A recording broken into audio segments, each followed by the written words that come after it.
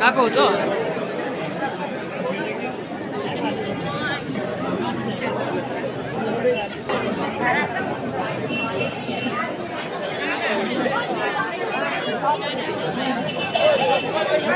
Yeah.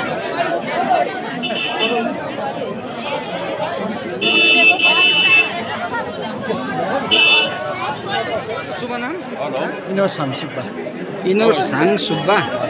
तपाईँ कुन चाहिँ ठाउँबाट चाहिँ प्रत्यक्ष हुनुहुन्छ? म चाहिँ सिधाल्यान्ड बङ्गला डाँडा रङ्बुल रङ्बुल ग्राम अँ, नामाङ्कन पत्र भरेर तपाईँ निस्किनु भयो। है र पञ्चायत चुनाव र पञ्चायत चुनावमा जितप्रति कतिको निश्चिन्त हुनुहुन्छ? म चाहिँ अब निश्चित थियो जित्यो पुरै विश्वस्त हुनुहुन्छ है? र आफ्टर इलेक्सन है तपाईँले आफ्नो गाउँको लागि आफ्नो वार्डको लागि आफ्नो ठाउँको लागि के सोच्नु भएको छ? के गर्नु?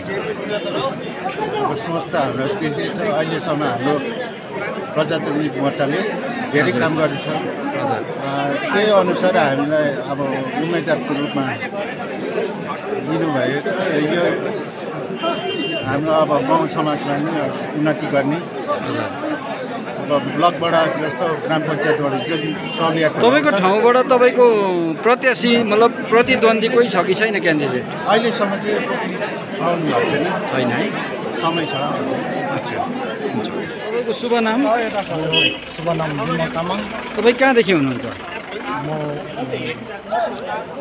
पोखरी ब्याङ्क जिबी ठट ग्राम पञ्चायत हजुर ठट ward number four booth number तिन सौ आठबाट तपाईँ अहिले प्रत्याशीको रूपमा नामाङ्कन पत्र भरेर तपाईँ निस्किनु भएको छ बाहिर है? र तपाईँलाई चाहिँ नामाङ्कन पत्र भर्नु भोटमा उठ्नुको लागि है एउटा पार्टीको रूपमा खडा हुनुपर्छ भन्ने सुझावहरू राख्ने अथवा के कस्तो हिसाबले चाहिँ तपाईँलाई के कारणले चाहिँ तपाईँ पञ्चायत चुनावमा उठ्नुभयो यो चाहिँ धेरै वर्ष पछि यो ग्राम पञ्चायत यो चुनाव भएको कारणले गर्दा मेरो सम्पूर्ण ग्रामवासीले मलाई चाहिँ एउटा विशेष उम्मेदवारबाट चाहिँ उठाएर चाहिँ अगाडि बढ्नको लागि चाहिँ अनि यो जित प्रति तपाईँको तपाईँ कतिको निश्चिन्त हुनुहुन्छ? जित हाम्रो एकदम निश्चित छ। अनि पञ्चायत चुनावमा है तपाईँले विजय हासिल गर्नुभयो यदि भने है त्यस पछाडि तपाईँको योजनाहरू के कस्तो रहनेछ?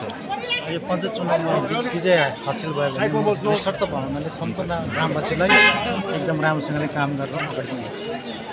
कतिको साथ पाइरहनु भएको जस्तो आवाज एकदमै राम्रो मेरो ग्रामवासी जति पनि भएछ तिन सौ तिन सौ आठको बुथका सम्पूर्ण उनीहरूले मलाई फलप्रुप सहयोग गरेको छु आशा पनि छ विजय पनि दिलाउँछ भनेर म तपाईँको शुभ नाम? मेरो शुभ नाम जेएम राई जुक्ति तपाईँ कहाँदेखि हुनुहुन्छ? म अ, समरीपानी बिच गाउँ पोखरेन ग्राम पञ्चायत दुई पऱ्यो ग्राम। पञ्चायत हजुर Pokharabung two ward number five. तपाईँले नामाङ्कन पत्र भरेर निस्किनु हुँदैछ होइन? तपाईँ उम्मेदवार हुनुहुन्छ पञ्चायत चुनावको लागि। कुन चाहिँ पार्टीबाट तपाईँले नामाङ्कन मैले बिजेपीबाट। बिजेपीबाट है। यो पञ्चायत चुनावलाई लिएर तपाईँको अवधारणा के छ? धेरै वर्ष पछाडि पञ्चायत चुनाव भइरहेको छ। यो विषयमा अलिकति। यो पञ्चायत चुनावमा अब विशेष अब गाउँको विकासको लागि होइन? हजुर। धेरै वर्ष अब विकासदेखि वञ्चित भएर बस्यो। सबै गाउँहरू। र अहिले योपालि बिस बाइस वर्षपछि पञ्चायत चुनाव फेरि हुँदैछ। र त्यसमा चाहिँ अब केही गर्नु सकिन्छ कि होइन? गाउँको। विकास गर्नु सकिन्छ कि भन्ने त्यही एउटा धारणा हो। तपाईँको प्रतिद्वन्दी कोही छ तपाईँको? प्रतिद्वन्दी त छ। हजुर। गाउँकै भाइहरू है।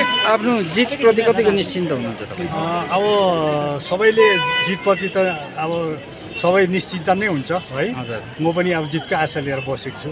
हजुर तपाईँ निश्चिन्त हुनुहुन्छ है ग्रामवासीबाट तपाईँले कतिको साथ पाइरहनु भएको ग्रामवासीबाट चाहिँ पुरै सहायता पाएको छु। म चाहिँ अब एउटा समाजको कार्यकर्तै हो।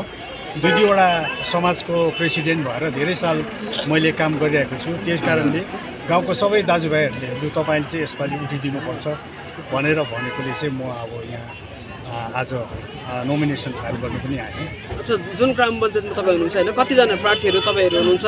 यो ज्ञान कति छ र कुन कुन पार्टीबाट तपाईँहरूले नामाङ्कन अहिले त हामी दुईजना मात्रै भइरहेको छु। एउटा बिजिपिएमबाट एउटा चाहिँ बिजेपीबाट। अच्छा। अच्छा यसमा प्रतिस्पर्धा के कस्तो लाग्दैछ? प्रतिस्पर्धा त अब त्यस्तै हो। उहाँले पनि जितकै आशा लिनु भएको छ होला मैले पनि जितकै आशा लिएको छु है। तपाईँले चाहिँ आफू जित्छु भन्ने कतिको विश्वास त? त्यो त जित्छु भन्ने त सबैको विश्वासै हुन्छ। हजुर। सुकिया माले डाँडा अनि बालासन जङ्गल बस्ती साथै अर्को बुथमा पर्छ तपाईँको हस्पिटल लाइन माझीधुरा गुरासे पारमेन अ, पुलुङदुङ जङ्गल बस्ती लाप्चे जगत साथै अर्को बु बुथमा पर्छ चञ्चलकोटी कैया लाइन र अर्को बुथ पर्छ तपाईँको माने भन्ज्याङमा लोवर माने डाँडा। अनि रिलिफ लाइन ती सबैका जनताहरूलाई म के अपिल गर्न चाहन्छु भन्दाखेरि चाहिँ यसपालि हुन त म पार्टीबाट उठेको यसपालि पार्टी झन्डा केही नहेर एउटा गर्ने एउटा कुछ भिजन भएको युथलाई चाहिँ तपाईँले भोट दिनुहोस् भनेर म अपिल गर्न चाहन्छु। किनभने मैले सुकियामा जति पनि कमी कमजोरी मैले बहुत अघिदेखि नै महसुस गरेर आएको छु र आउँदो दिनमा यो सबै कमी कमजोरीलाई चाहिँ म त्यस जग्गामा पुगेर सबै फुलफिल गर्छु भन्ने म तपाईँहरूलाई वचन दिँदछु र यसपालि तपाईँहरूले अन्य केही नसोचेर चाहिँ एउटा गर्ने युथलाई नै अघि बढाउनुहुन्छ भनेर धेरै आशावादी छु। तपाईँ हेर्नुहुँदैछ एसजी न्युज।